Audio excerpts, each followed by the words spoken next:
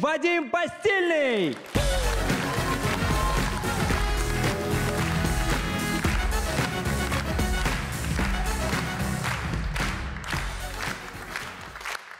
Привет, ребята, здрасте, добрый вечер. Привет. Так, э, бесит э, ходить по утрам в кофейню, кофе, там э, хрен закажешь. Спокойно каждый день прихожу, говорю, здрасте, а можно кофе заказать? А какой будете? Ну, капучино давайте. А какой прожарки хотите? Я думаю, ну как-нибудь прожарить, чтобы кофе получился по итогу у вас.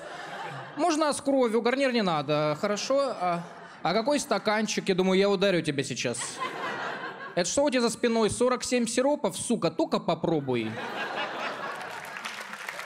И понятно, что это не она придумала все эти прожарки, это кто-то пришел из нас, кто-то душный, который...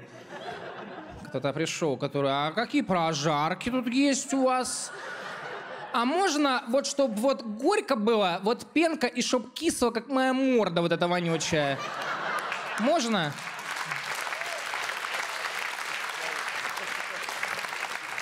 Я уверен, на самом первом стаканчике было написано «гнида». Да. Понятно, что это все делается, чтобы нас заманить, но иногда, знаете, общепит перебарщивает. Знаете, когда ты приходишь, и тебе официант дает 100 меню вот эти, ты приходишь и говорит, вот наше основное меню, вот летнее меню, вот акции, вот постное меню, вот веганское меню, вот винная карта, вот чайная карта, вот кальянная карта, вот карта России, карта сокровищ, карта тройка, ну и валет бубновый тоже на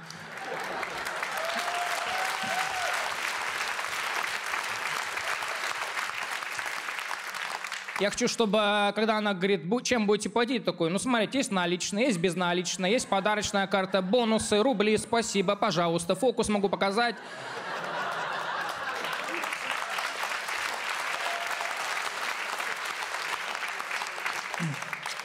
Да, и в целом в России нет культуры общепита, потому что бармен, официант в Европе считается нормальная работа, но нюанс в том, что там посетители еще ходят добрые, вежливые люди.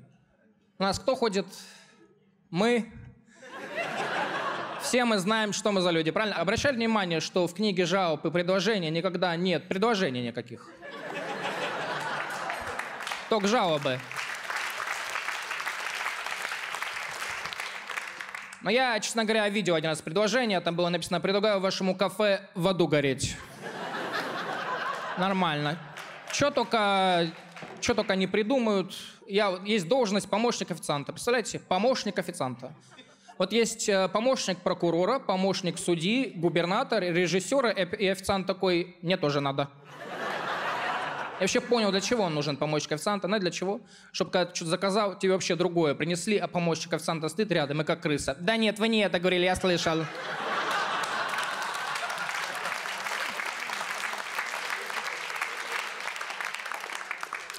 Сомелье еще... Ну, сомелье, я понимаю, если ты пьешь вино за 20 тысяч евро, там нужен чек, чтобы объяснил тебе, кредит выдал да, сразу на это вино. Но мы же не пьем никто такое вино за 20 тысяч. Кто-то пьет такое вино, попади, кто пьет вино за 20 20 тысяч евро. Есть такие люди? Вот чисто нищими собрались поугарать, правильно? Правильно. Но я думаю, ладно, коль я шутки пишу, надо матчасть изучить. Сходить в заведение, где есть сомелье. И я прихожу в заведение, спрашиваю сомелье, расскажите про вино, и он такой... «Ох, это вино. Я думаю, ты трахнуть меня вздумал. Про вино будет что-нибудь? Он такой, ты когда пьешь это вино, ты словно оказываешься на лазурном берегу, бежишь вдоль пляжа к закату, где лепестки свежепавших цветов впадают в унисон с послевкусием корицы. И я такой, я люблю тебя.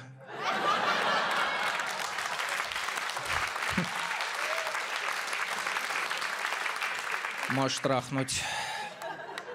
Да, все эти помощники официанта, сомелье, зазыва уличные, это чтобы с нас деньги выманить, правильно? Но я, честно говоря, такой человек, я всегда ведусь. Я недавно себе так купил второй увлажнитель воздуха.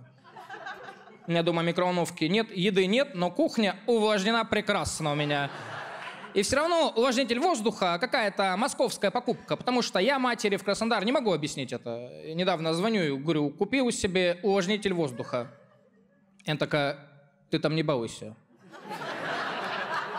Я говорю, ну, увлажнитель воздуха. Она такая, что с ним? Ну, увлажнять э, влажно. А раньше как было? Было не влажно. Было сухо. А что если сухо? Я говорю, ну, у меня кожа трескается. Она говорит, у тебя там в Москве морда, сука, трескается.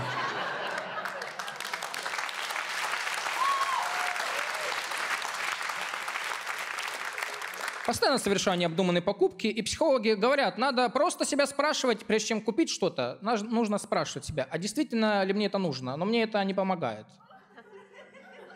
Если я спрашиваю, а действительно ли мне нужен второй увлажнитель? Очень нужен.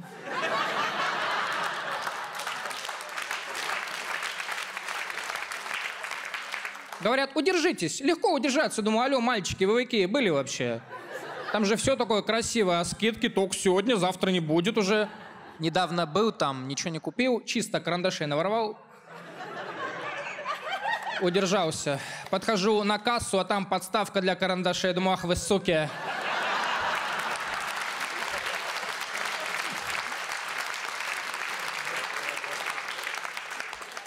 Всегда это есть э, богатый друг, мерзкий в окружении, знаете, вот этот, который недавно пошел в Apple за зарядкой, не удержался и купил новый iPhone. Знаете, я недавно ходил в этот магазин и прям удержался. Удержание прекрасно произошло. Я, может, рад был бы не удержаться. У меня карта моя, продавец, удержали хорошо. Говорят, иди в Дикси, яблочки погрызи, бестолочь. Пришел.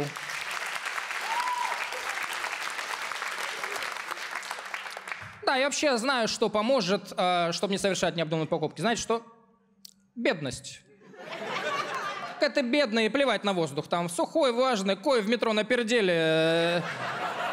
Да, и ты совершаешь покупки, чтобы восполнить эмоцию внутреннюю, тратишь деньги. Но у меня есть решение, что надо делать в такой ситуации. Надо делать возврат.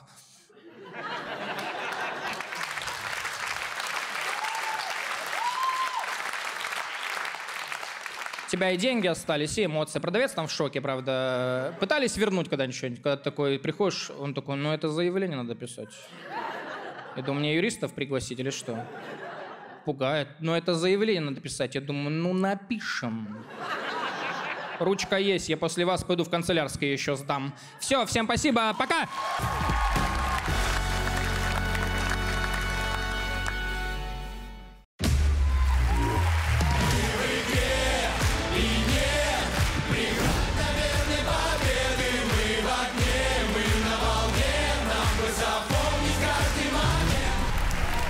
Мы фавориты. Мы любимчики. ага. Мы любимчики-неповторимчики. Мы легендарики. На воздушном шарике. Вся, не усмешняй, кто бы ты ни был. Так, а нас сколько? Четыре. А сколько у нас ртов для шуток? Четыре. А сколько у нас высших образований? Четыре. У кого два? Самые крутые комики будут биться за самый крупный приз в истории телевидения. 30 миллионов рублей! Я таких круглых глаз у Нурлана никогда не видел.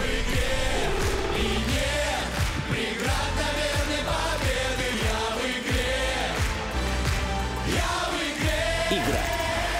Скоро на ТНТ.